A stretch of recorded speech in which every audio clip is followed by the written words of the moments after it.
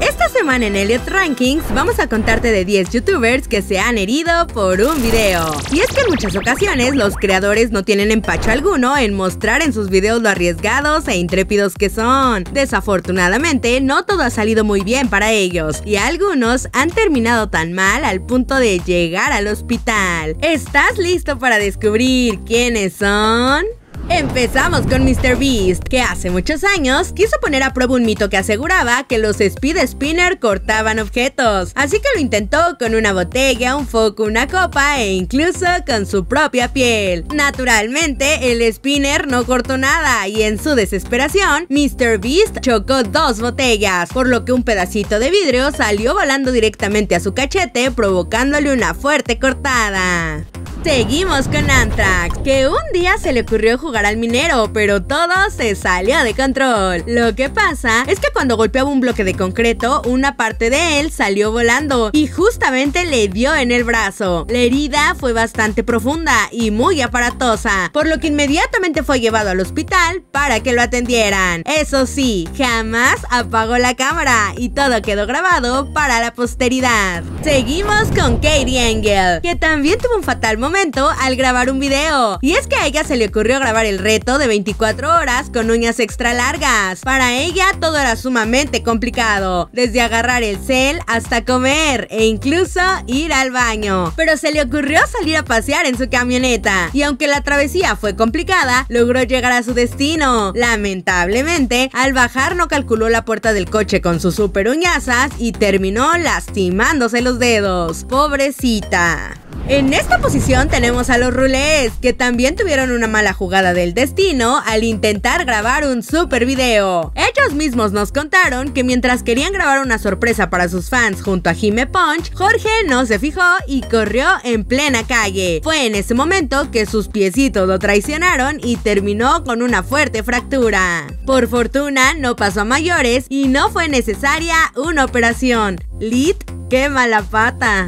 Otra que también tuvo una mala pata fue Connie Merlin, ya que lamentablemente se esguinzó un pie mientras grababa el reto de dormir en su jardín. Todo iba muy bien, ya había preparado su casita para vivir en el patio de su casa, que es particular, se moja y se seca como los demás. Bueno, bueno, de repente ella quiso acomodar unas cosas y pisó una piedra para alcanzar, pero la madre naturaleza la traicionó y terminó por caer y lastimarse el tobillo. Un reto tan inocente le costó reposo dentro de de casa. Ahora vamos con Luisito Comunica y Juan Pazurita, que también sufrieron bastante en un video. Lo que pasa es que a ellos se les ocurrió grabar un documental para recorrer la República Mexicana en busca del chile más picante. Obviamente esto no salió nada bien y ambos terminaron tan enchilados que experimentaron dolor de cabeza, zumbidos, náuseas, entumecimiento de la boca, dolor en el estómago y ardor en la garganta. La verdad es que de verlo sufrir ya no se me antoja echarle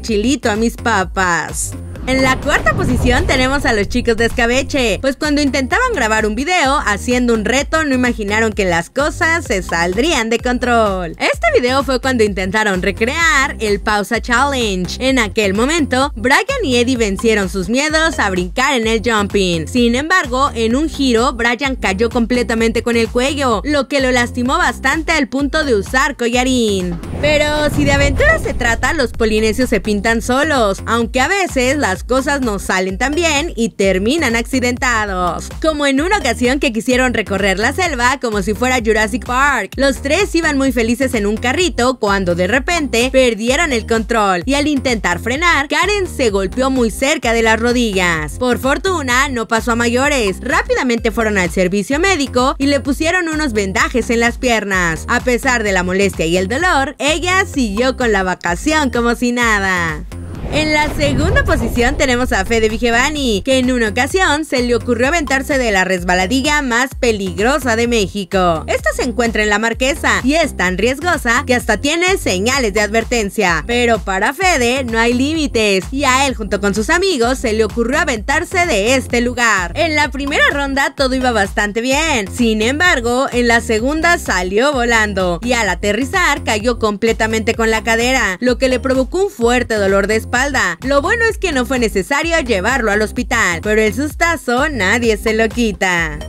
En la primera posición tenemos a Yolo, que jamás volverá a hacer retos peligrosos. Lo que pasa es que en un reto para aventarse de inflables, él tuvo una caída bastante peligrosa y comenzó a experimentar un fuerte dolor de espalda. Cuando llegó al hospital, fue diagnosticado con espondilitis anquilosante, de modo que la recomendación médica es que jamás vuelva a hacer retos peligrosos, algo que vamos a extrañar muchísimo, pero primero está su salud. ¿Te gustó? Pues dinos en los comentarios cuál accidente te impactó Nosotros estamos bastante sorprendidos de lo peligroso que pueden llegar a ser algunos retos. Por eso te recordamos que tengas mucha precaución cuando quieras sentirte tan aventurero como los youtubers de esta lista. Si te gustó este video, entonces dale like. Y si todavía no te has suscrito a Elliot Channel, es momento de que lo hagas. Porque en este canal somos como eres tú. Somos Elliot, somos Gen Z.